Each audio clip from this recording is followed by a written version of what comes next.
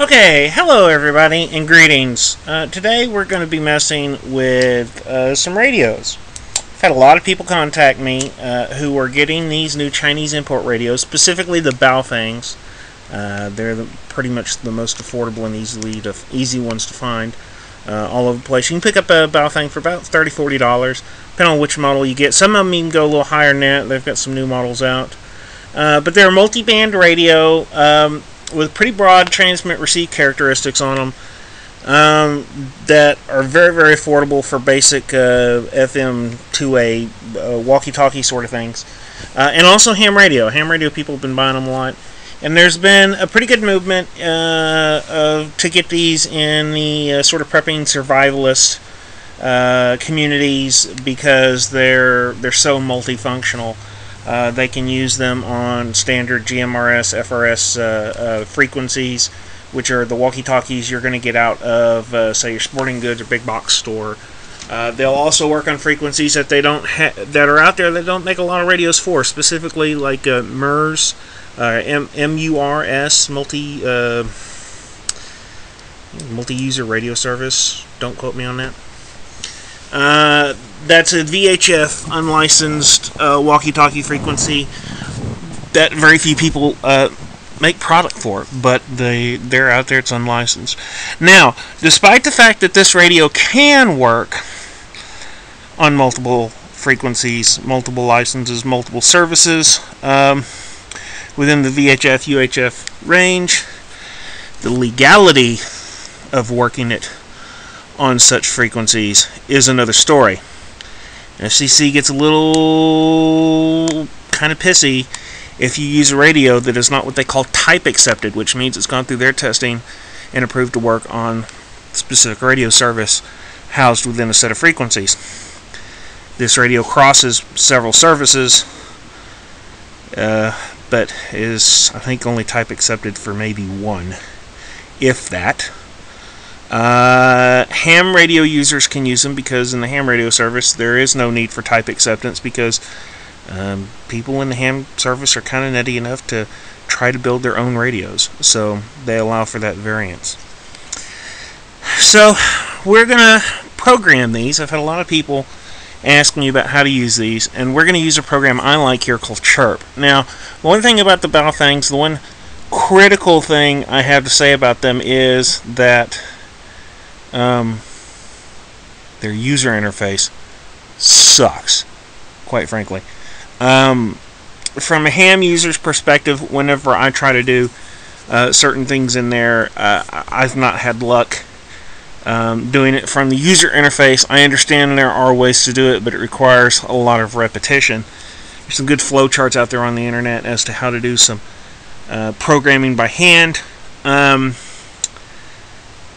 but you have to basically go through, punch in your first set of, of variables for what you're going to save in a memory location, save it, go back and edit it again, punch in another portion, save it, go back in, punch in another portion, and then save it, uh, according to the flowcharts I've seen, which is ridiculous. You should be able to punch them in all at the same time. The, the variables are all there when you look at them when you go into to, to modify a, a set of frequencies but it just some of them don't save first time around, some of them don't save second time around, some of them save third time around. So you know, the uh, it's kind of a pain in the butt compared to um, the ICOMs that I traditionally have, even the Yaesus and Kenwoods that other people would use.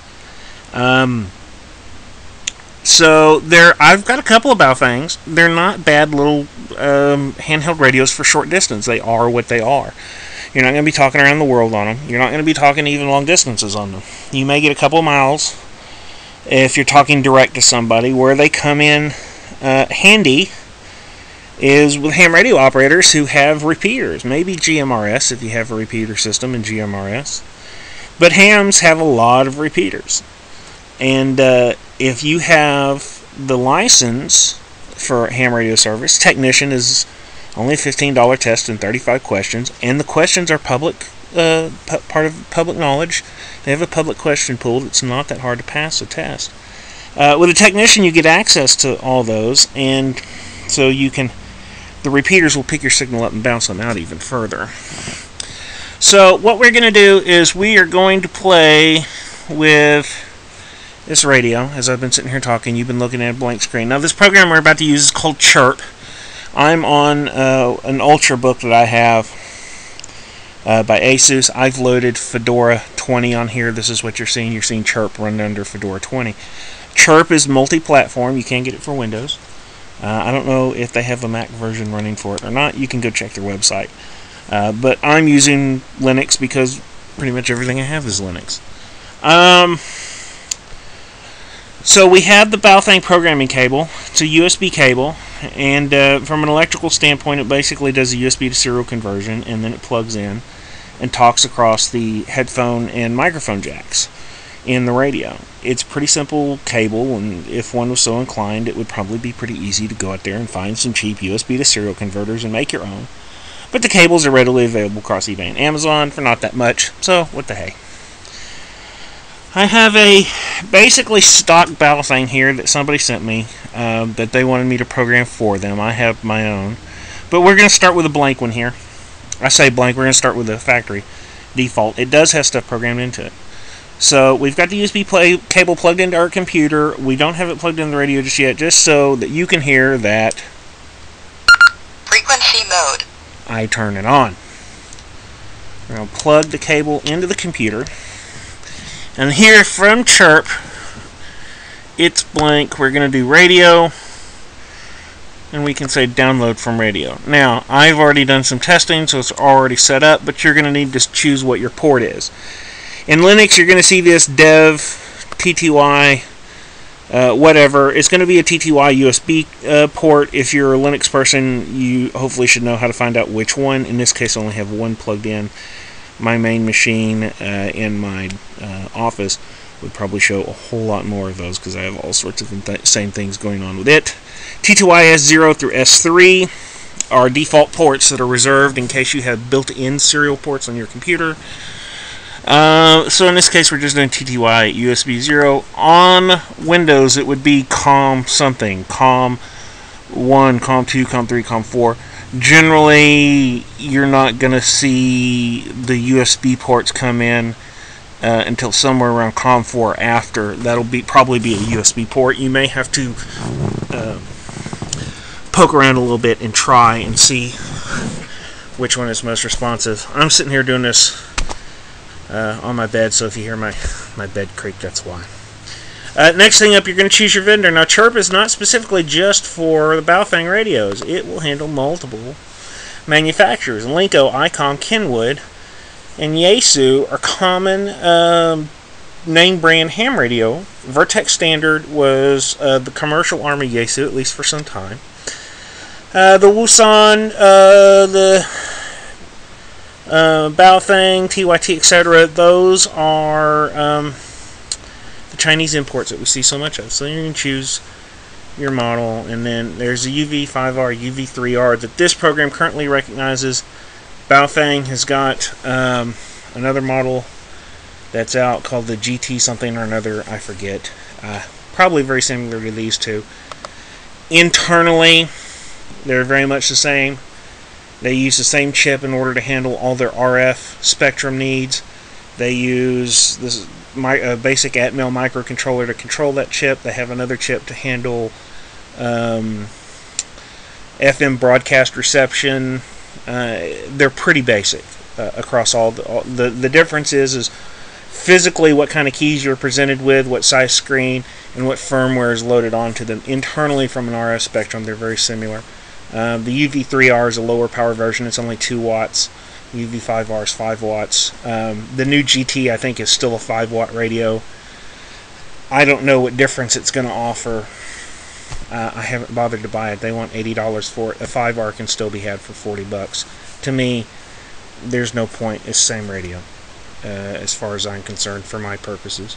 So, anyways, we're going to choose this. We're going to hit OK It's going to come up, says this is experimental, right? Let's move this into where I'm recording here so everybody can see this. It says it's experimental. In other words, this is an open source program, and they've reverse engineered all this, and this is not actually sanctioned by Baofeng to work. Uh, so, you know, use at your own will. Now, I've not ever had any problems with it. Uh, it's just their sort of uh, de facto liability warning. Uh, right now, we're reading, so there's minimal risk of um, data corruption in all likelihood. We're not writing anything into memory, we're just reading. So it shouldn't be too bad. Um, and I've I've used this program several times. It'll it's it's fine. So we're gonna say yes. It's gonna sit here for a second, talk to the radio, and then we're gonna pull it out and we're gonna clone it.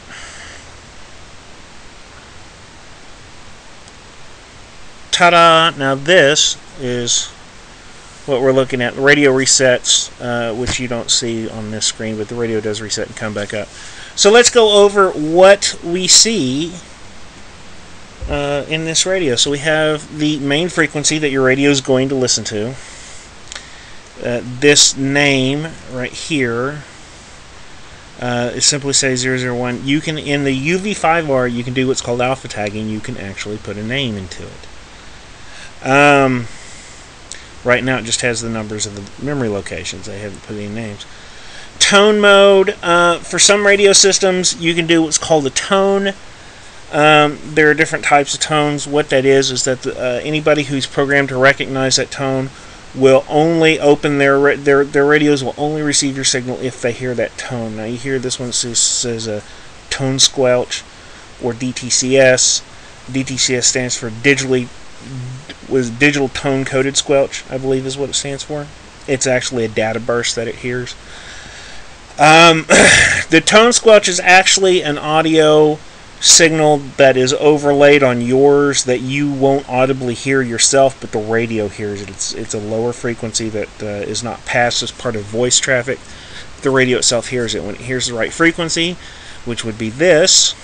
Actually, in the tone column, this is what's transmitted. In the tone squelch, this is what it's expected to hear in order for it to open. And then you also have, for digital tone coded squelch, uh, the transmit and receive codes uh, for it to allow it to open. Now, let me be very clear about this. These technologies were developed to allow multiple people to share a common radio infrastructure. They were not engineered for privacy. When you look at an FRS or a GMRS radio, a lot of times they advertise that they have privacy codes. What they're talking about are these, they don't even do the digital tone uh, coded squelch over here.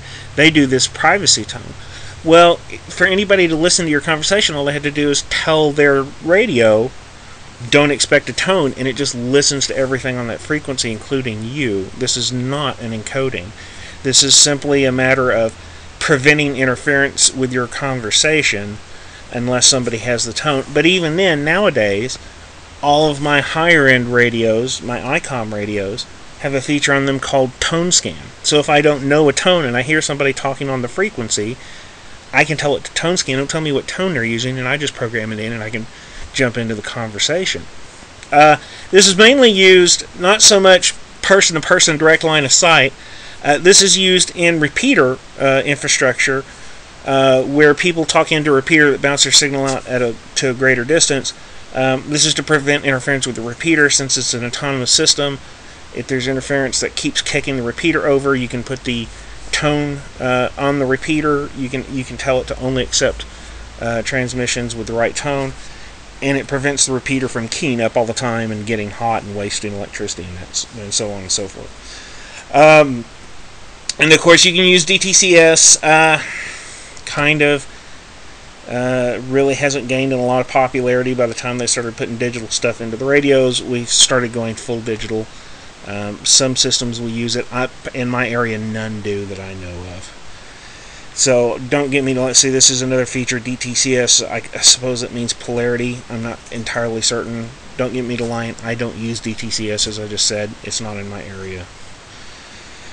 Uh, so in some of this, we're not going to go completely over cross mode. I'm not going to mess with that. Uh, duplex. Um, duplex. When you're using a repeater trick is a repeater has to use a single antenna for both transmit and receive at the same time.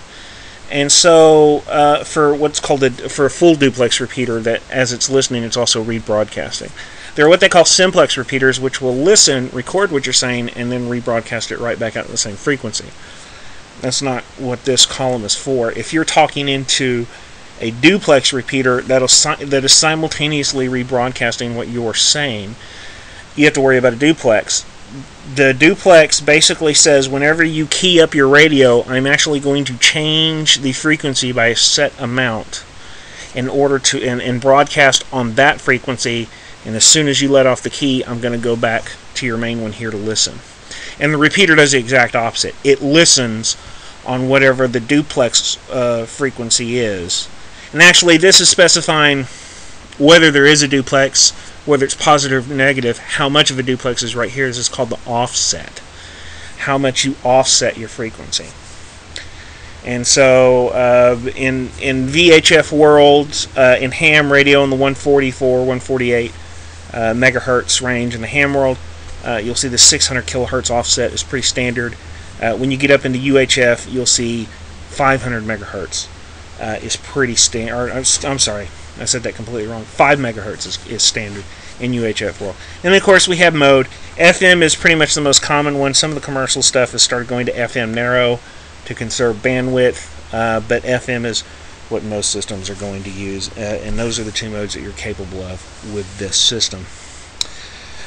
Okay, so let's go ahead and we're going to save this as a backup, uh, just so I can put it back where I need it to be. And we're going to say, uh, this is in our, our root folder, so we're going to say UV5, uh, UV5R backup is all we're going to call this. Um, we're going to say save. And so I can open that back up and then just dump it right back onto this uh, radio and it'll go right back to stock the way I was wanting it to.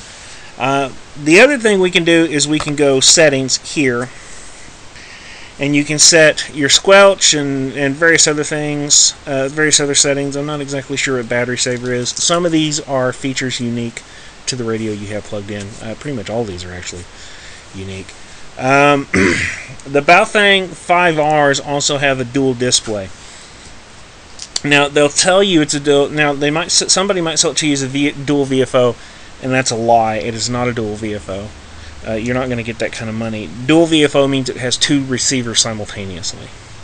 Uh, the Baofengs do not have simultaneous receivers. They have one receiver. And they display two frequencies at a time. There's a difference. Um, with a dual VFO, I can literally listen to two conversations at once if I have a radio that's dual VFO. On the Baofeng, it's going to choose one or the other based upon your settings, which one you've got selected, this sort of thing. You can be monitoring both, but not at the same time. It'll hop between the two in some fashion on radios like this. Um, I'm not going to get. I don't know the specifics exactly how the Baofeng handles it. I haven't used it that much. I really don't have a need to listen to too many things at once. It gets a little confusing, anyways. If I had a need to do it, I would go cough at the money and buy dual VFO radio. Uh, but you can change things. Uh, the squelch, um, normally on a radio, I'll just kind of show you with this one. Normally the radio is silent when there's no transmission, but in all actuality, what it's got is it's got a squelch, and this is you're telling it how much of a background noise to expect uh, in your environment, and that anything over that background noise, it'll open up and receive. There should be a uh, monitor key on this one. Yeah, if you can hear it. When you go to monitor, that opens the squelch all the way up so that you can hear everything as the radio is hearing it. It's not silencing anything for you and that's just static. So essentially, you're setting the the squelch level. You're setting as to how high you think the the and it's a relative, but you're setting it as to how high you think your background noise is going to be. Uh, battery saver. Uh, I'm not totally familiar with that one. I'm not going to mess with it. Uh, backlight timeout. It, the, you have a backlight on LCD. How long it'll stay lit after you do something. Whether you want the beep enabled. Timeout timer. Timeout timer means that. Um, how long it's going to let you hold down the key before it stops transmitting. And you said some you know when I first got into radio, I was well, I don't want a timeout timer. I don't want to tell me how long I can talk up until I lodged my uh, mobile radio's mic between my door and something else when I shut the door, and it held down the it held down the key on the mic for half an hour and chewed up somebody's repeater for half an hour, and it really heated my radio up. Probably caused a failure I had in the future from that point um, that I had to have repaired because the thing got really, really hot. So timeout timers are not necessarily a bad thing. Uh, people get long-winded on radio, so 60 seconds is probably a little short. You can uh, obviously go quite a bit longer than that. You know, maybe if you go 180 or 300 seconds. You know, if you spend more than three to five minutes at a time on the key, let off the key, you're probably uh, chewing up too much, uh, too much battery. Um, display mode, you can choose whether or not you want to select frequency um, to be displayed, or name, or the channel number. Uh, and again, I said it, it, shows two different displays, so you got to there are two different frequencies at once that you can select between which one you want to use, and that's what these two are, A and B. And then different colors. The backlight LED are going to show if you're doing standby, if you're doing receive, if you're doing transmit, whatever. You can also enable Roger beep if you really want to. That's uh, fun with the uh, CBers. In the name of God, do not enable Roger beep when you're in the VHF, UHF RAIN, and other services. It is really annoying. It's your radio intentionally sending some sort of a beep sound after you let off the key to let everybody know you've let off the key. I promise you, when I hear the squelch tail, I know you've quit transmitting. The squelch tail is that static sound at the end, and I know your radio has quit transmitting. Promise you, I don't need a Roger beep. It gets annoying. Um, go to advanced settings. We're not going to worry about DTMF side tone. You're probably not going to be messing with it unless you're in a ham setting and have some sort of need for DTMF, which is getting pretty rare nowadays. You can set up voice activation instead of doing a key. I would not normally suggest that. And you can set the sensitivity there. Dual watch is what I was telling you about, uh, where the two different frequencies it has, it can flip between one or the other. Uh, so you can enable that, and it'll try to listen to both frequencies. It'll hop between them to some degree, but one's always going to have one. It's always going to favor one or the other, and so that's what that priority is. It'll either listen to A more often or B more often if you want to. Um, alarm mode. This thing has an alarm on it, and I dread it. You can use it as a personal alarm, and uh, I just don't even mess with it because if it if you're transmitting an alarm, you're tying up somebody's frequency. Yes, everybody knows that somebody's in trouble, but nobody can then use that frequency to try to coordinate to find you. so it seems a little counterproductive to me. The voice when you hear it start up or when you hear it say something in the uh, in the menu, there's an English and Chinese voice. Um, some options for scan, which I haven't messed with scan really. I kind of sit on one frequency or the other. Um, you can enable whether it listens to um, FM radio. You can set whether or not it automatically locks the keys uh, to prevent people from using it. You, there's an unlock key on there that you have to press and hold down. It unlocks and then you can work on it. I don't know if that's time based or if it just assumes whenever you start up to always be logged. Uh, busy channel lockout means that you can't transmit when it detects that somebody is talking on the channel. It keeps you from what everybody calls doubling, trying to talk at the same time. That causes a um, to anybody listening when two people are trying to transmit at the same time. It causes what's called heterodyne. Um, and a couple of other things that I'm not gonna mess with. You can set your power on messages and you can set your limits. If you don't want to go full out uh, on the frequencies, you can set your limits um, so that you're only within certain ranges. If you're a ham radio operator, for instance, and you only want to use this to transmit legally on the ham frequencies, then you can limit yourself so that you're not out of frequency by accident. Um, And I think on some of these radios, you can actually widen them out to use frequencies that they didn't come advertised that they could use. So you can mess with that, do a little research. And then some other things. What's your primary frequency you're going to display? Are you in VFO, which stands for variable frequency oscillator. In other words, I'm going to dial in the frequency I want, or memory recall, which means I'm just going to choose what my memories are. You can choose which your primary mode is when you turn it on, whether your keypad's going to be locked. Uh,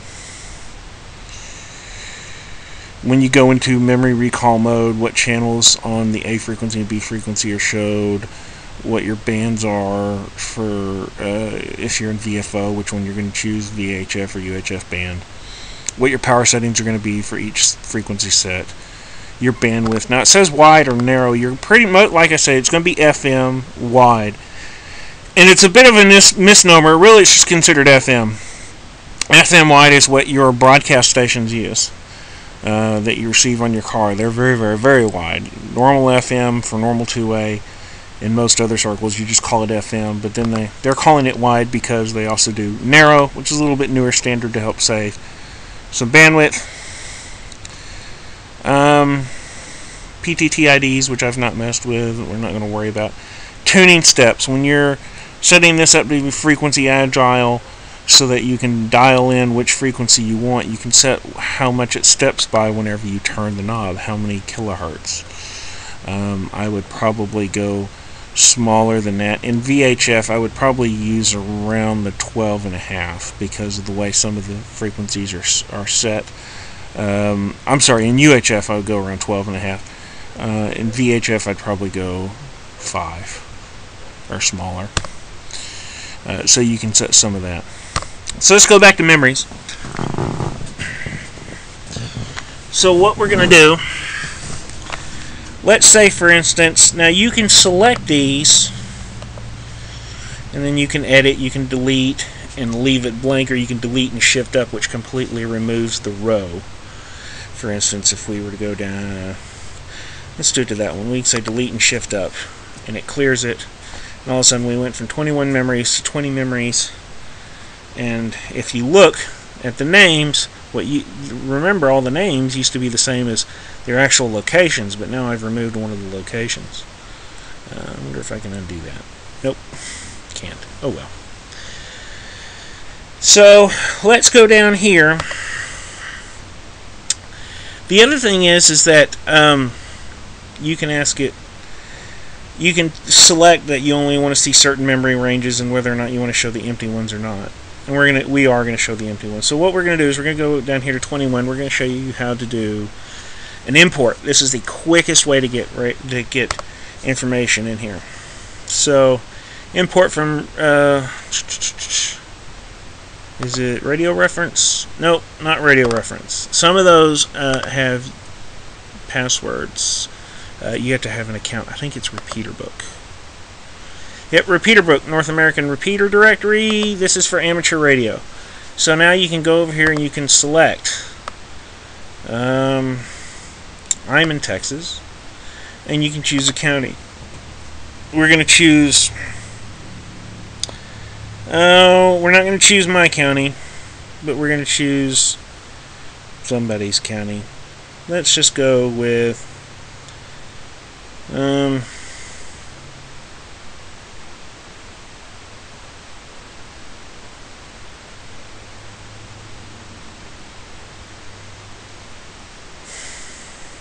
try Lubbock. Lubbock County. And then you can select which band.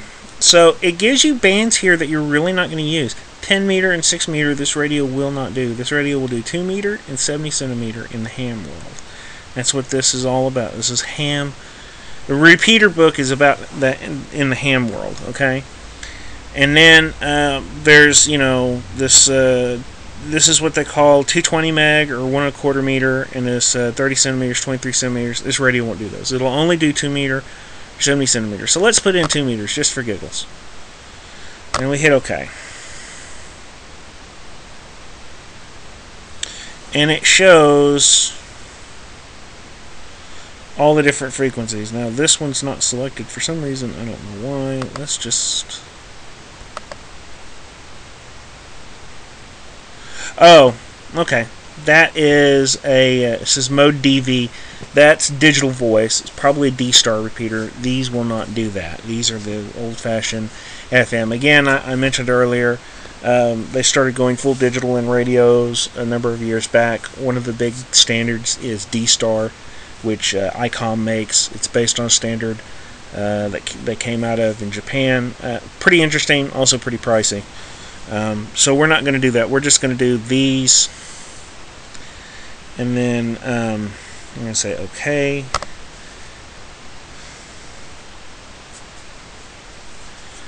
And that put it in at the top, actually, and overwrote the top settings. Uh, that's the one thing about Chirp, is that it's a little flaky. I selected down here. Um, let's say insert robo.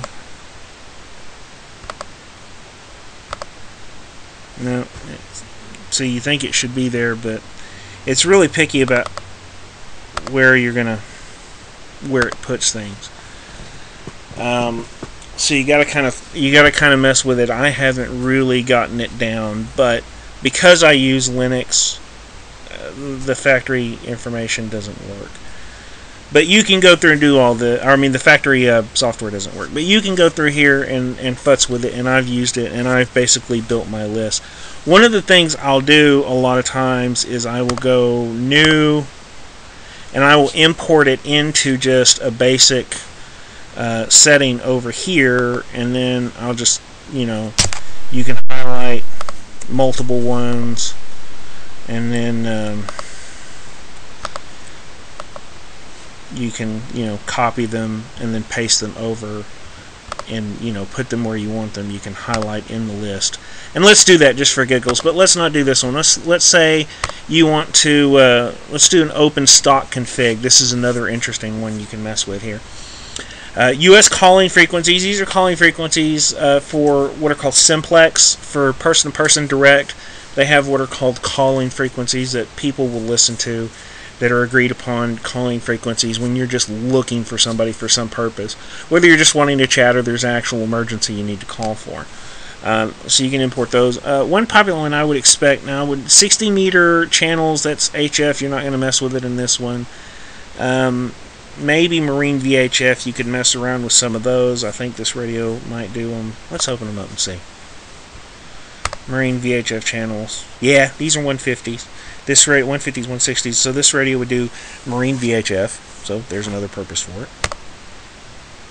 Uh, but MURS and uh, FRS GMRS are GMRS in and of itself is not unlicensed, but FRS and MURS is unlicensed, and so uh, this radio would probably uh, typically get used by somebody who's not a, like a licensed ham would probably get used on those frequencies quite a bit in order to avoid somebody noticing them for you know violating type acceptancy um, which on an unlicensed band you know very few uh, FCC are going to care about so let's open up uh, say for instance MURS. MURS is pretty short it's five frequencies for MURS. it's right there and they have MURS 1, MURS 2, MURS 3, and then the last two, Blue Dot and Green Dot, actually come over from a business band. They're grandfathered into it as part of this new MURS setup. They're kind of oddball. Um, you know, you have 151 uh, here, and you go 82, 88, 80. Well, that's you know 60 kilohertz spacing. That looks pretty normal. And then you hit these last two, and they're kind of out there a little funky, but whatever. So let's say we want those, so we can take those and we can select them. Now what I'm doing is you select the first one. Let me get out of that. select the first one. For those of you who don't know how to do multi-select. And if you want to do them singly, you can hold down Control and then click on them. Or you can go down to the last one in your list, hold down Shift. See, I'd already selected those others, so let's try that again. Select the first one, hold Shift, go down there, click on it, and it selects everything in between. That's first to last. Right click on it, copy, go over here, we're going to click here, and we're going to say paste, and there you pasted from where my cursor was, thankfully. So, if you're going to import, I, to me, the best way I found it to do it was to open up another uh, another uh, tab here. You know, you just do a new, and then you import whatever you want into that. Uh, and then select it and copy it over into your working list. And it makes it pretty easy. Uh, no, I don't want to save those changes, and we're not going to mess with that one, so we're going to close that. So now we've got, we're not going to save this, but now we've got this just massive list of whatever that we're not going to have. Let's say we're going to do those two meters. Let's just let's just kill what was there in the first place, shall we? Just select all those, and we're going to go delete and shift up. Okay, so now all we're left with are the 2 meter repeaters in Lubbock County, Texas, and the 5 MURS frequencies. That gives us 12 frequencies total. Um, oh, missed one. Let's delete that. 11 frequencies total. and so you'll see over here, these have for the repeaters, they have duplex settings of the negative or positive uh, duplex, which means they're going to shift either plus or minus whatever this offset is, is 600 kilohertz. Like I was telling you before for the repeaters. And um, since we imported them, uh, or we use built-in sources in the case of the MURS, they already have names on there. Now, if you create your own frequency uh, down here, you can add in your own name. But whenever you, for instance, go over here to these settings, if you don't if you don't remember the frequencies, right, you can go where is it? I think it's in basic settings. Yeah, to these display modes, and you can choose. Oh, that's an alarm. You can choose. I want to see names, right? So let's do that just for giggles. I want to see the names of what I'm doing. So that way you don't have to worry about the numerical frequencies. What you're going to see in your display are these. Now, if your MURS or your GMRS or your FRS that makes sense to you, or you know, Marine VHF, what have you. Uh, ham radio people will know these are the call signs of the people that are running the repeater, what they call a trustee of a repeater. Um, that makes it much sense to people who aren't hams, but to hams, they understand what that means, and if they're in that area, they will uh, entirely likely know may know who that person is or may have met them. That, that's actually FCC issued call signs, and they'll be used to memorizing um, you know, which repeater is which. Okay, so enough yakking about it, right? So now we're going to say upload to radio. Just for giggles, right? So we're doing a U TTY USB 0 again. And it's our because we downloaded from a and this is one of the cool things about this because we downloaded from a Baofeng, all of the settings, everything is already set up to re-upload to a Baofeng. It's defined within our backup here, uh, or it's defined within our settings here that this is going to a Baofeng, and all of those custom options are already there, so you don't have to mess with anything. So this is one of the reasons I say take a Baofeng, plug it in, download from the radio, and edit what's there, because it just makes it much easier. To, in fact, I've never tried to upload when it wasn't set up that way. I don't even know how much trouble that would be. Just download it, edit what's there, re-upload it back up, make as many copies as you want so that you don't lose your place. You don't maybe don't lose something you don't want to. But we're just playing here, so we're going to upload it. And it says, hey, guess what? This is experimental, yada, yada, yada. I don't want you to tell me that anymore, so I'm going to click that. I'm going to say proceed. And it's going to try its cloning process. Uh, hopefully it works. I have had these radios hiccup. Yeah, radio did not respond. So what we're going to do is we're going to turn the radio off. We're going to unplug everything for a second. Plug it back in. Plug that back in. Power the radio back up. You didn't hear it because I've got it plugged in. Upload the radio. Let's try it one more time. TTY USB. Cloning. Yeah, it's working. There it goes. So yeah, there's a bug every once in a while, but it's not too bad.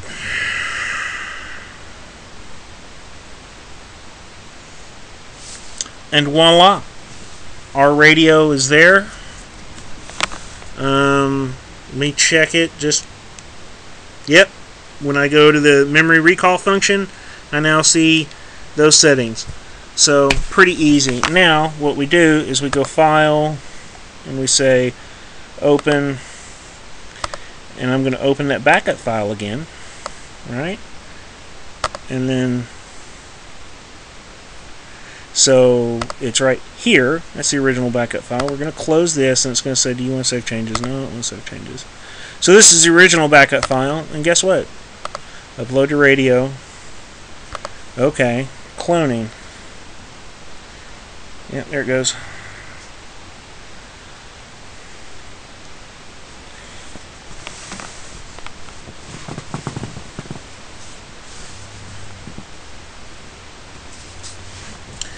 And radio resets, and everything's back to normal, just like it was before we started the whole project. So, hopefully, that lets you guys know how to, to, to do a few things.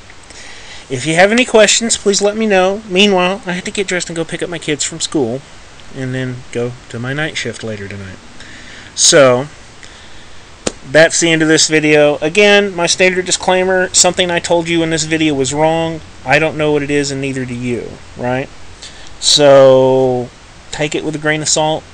Go figure it out for yourself. Thanks for watching.